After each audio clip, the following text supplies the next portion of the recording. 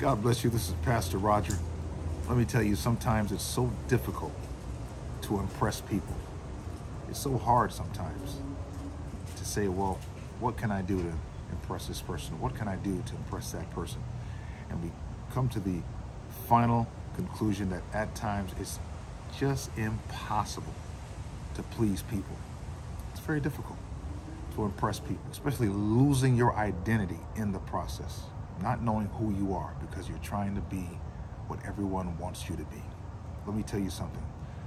Know this that God has made you and He loves you.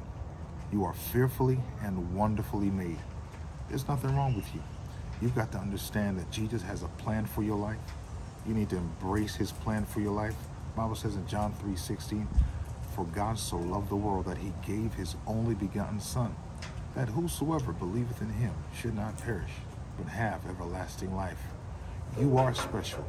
You are fearfully and wonderfully made according to the word of God. Psalms 139, verse 14. I praise you because I am fearfully and wonderfully made. Your works are wonderful. I know that full well. Isn't that a wonderful thing to know that God has fearfully made you just the way you are and he has a plan for your life and he loves you just the way you are. All you have to do is simply embrace his love. Sometimes uh, we can receive love, but do we embrace the love? Understand, if there's anyone who loves you more, it is God. God loves you and he has a plan for your life. Embrace his love today. Embrace his loving kindness. Embrace his faithfulness. You may say, well, I don't feel his love right now. And that's fine. Sometimes we just can't feel his love, but know his love is there. Mere fact, mere fact that you're breathing, you're inhaling and exhaling. Isn't that a wonderful thing to know? That I am alive. This is proof that God loves me. The amount of things that has happened in my life, the amount of things that have that has happened in your life, and sometimes you wonder, how in the world am I still here? How did I get this far? But let me tell you something. You got this far because of the grace of God. You're here because God has a plan for your life. You are fearfully and wonderfully made. I want to say that again.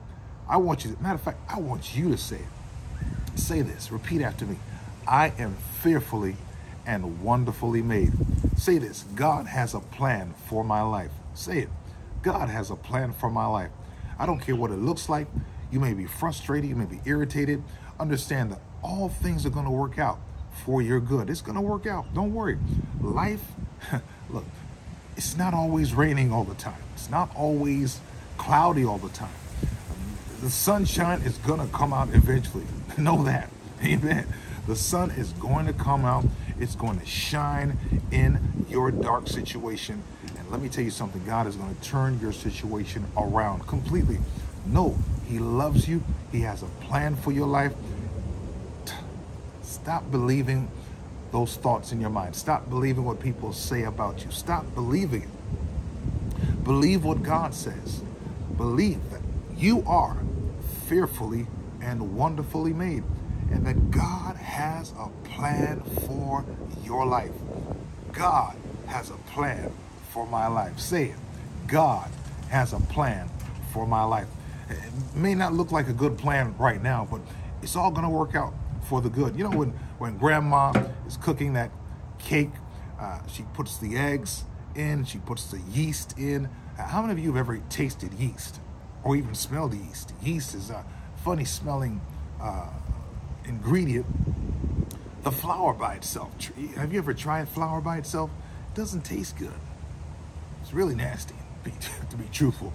Uh, you ever tried these separate ingredients by itself?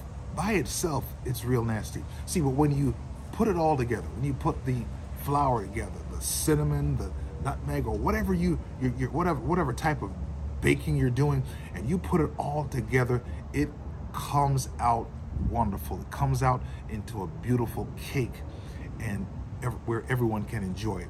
Let me tell you something. God has a plan for you. Don't give up. Don't give up. Don't quit. Don't throw in the towel. God loves you.